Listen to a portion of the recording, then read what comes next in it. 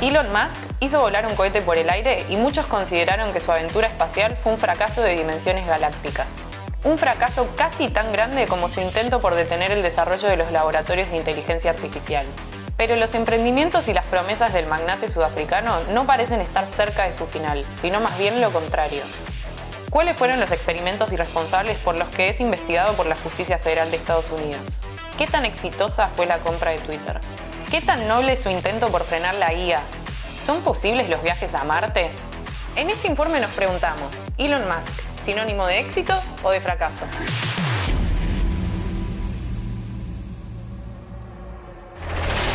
Empecemos por el final. La nueva carrera espacial que hoy enfrenta Estados Unidos con China está en su fase más enérgica. Minuto a minuto se conocen nuevos proyectos, lanzamientos y desarrollos de un lado y del otro. En este contexto, Musk desarrolló SpaceX, una empresa que pretende que el hombre vuelva a poner un pie en la Luna y que tiene como objetivo final poder viajar por primera vez a Marte. Y para esto último desarrolló Starship, la nave más potente construida hasta la fecha, las expectativas eran bastante altas y el evento reunió a creyentes y a escépticos.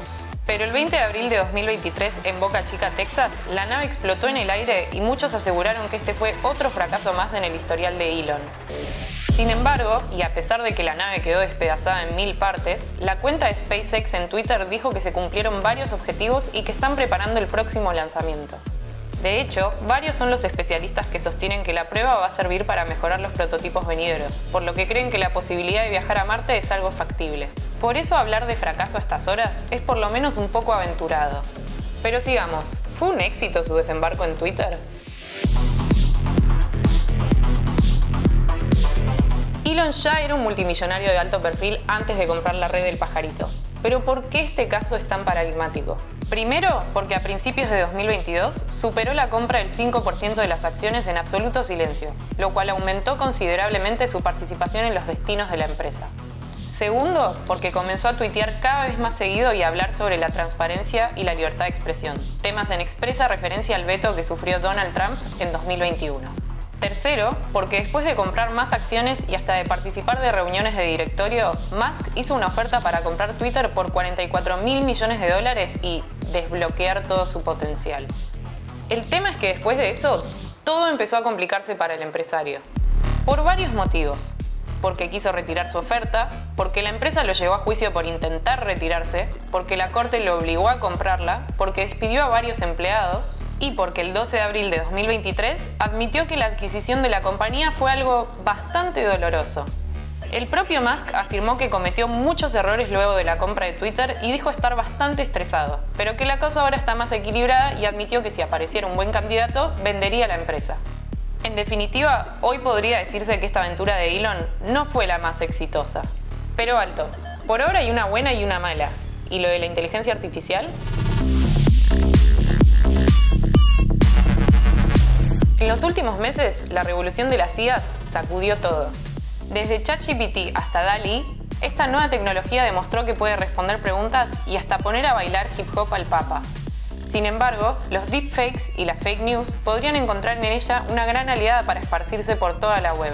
Incluso existe la posibilidad concreta de la desaparición de oficios y tareas que podría dejar en jaque a la humanidad. De hecho, esto fue lo que argumentó Elon. A principios de abril de 2023, Elon Musk, el cofundador de Apple y mil expertos más en el tema firmaron una carta para poner en pausa el desarrollo de la inteligencia artificial por seis meses.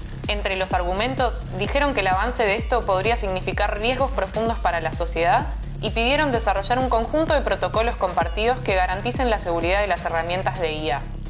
Sin embargo, varios sospecharon de las nobles intenciones de Elon y sostuvieron que su pedido tenía más que ver con ganar tiempo para desarrollar nuevos y mejores motores de inteligencia artificial. Curiosamente, trascendió que Twitter adquirió recientemente procesadores ultra potentes y contrató ingenieros expertos en IA con el objetivo de poder competir frente a OpenAI, uno de los laboratorios más exitosos en la materia. Repasemos. Starship, un posible acierto. Twitter, un posible error. Inteligencia artificial, pura especulación. Pero, ¿cuáles son los experimentos por los que es investigado? A finales de 2022, la empresa Neuralink, propiedad de Musk, fue imputada por la Justicia Federal de los Estados Unidos por realizar maltrato animal. Neuralink Corp está desarrollando un implante cerebral con el que espera ayudar a las personas paralíticas a volver a caminar y curar otras dolencias neurológicas. Sin embargo, varios empleados denunciaron que los ensayos con animales son cada vez más crueles, causándoles sufrimientos y muertes innecesarias. Según la agencia Reuters, la compañía ya mató a unos 1.500 animales, entre ellos más de 280 cerdos, ovejas y monos. Para los empleados de Neuralink, las fallas en los experimentos se deben a las exigencias de Musk para alcanzar los resultados que permitan a la compañía comenzar a ver las ganancias de su importante inversión. Como vimos, no todo lo que toca Musk es oro. Hay aciertos, como los satélites Starlink, y fracasos, como el intento de desarrollar autos eléctricos a gran escala. Sin embargo, lo que no se puede negar es la capacidad de reinventarse una y otra vez. ¿Podrá concretar su viaje a Marte? ¿Será procesado por los experimentos de Neuralink? ¿Su nombre es sinónimo de éxito o solo es un vendedor de ilusiones? Bueno amigos de YouTube, hasta acá llegamos hoy. Si les gustó el informe, denle like, compartan el video y suscríbanse a nuestro canal. Yo soy Lola Barón y nos vemos la próxima.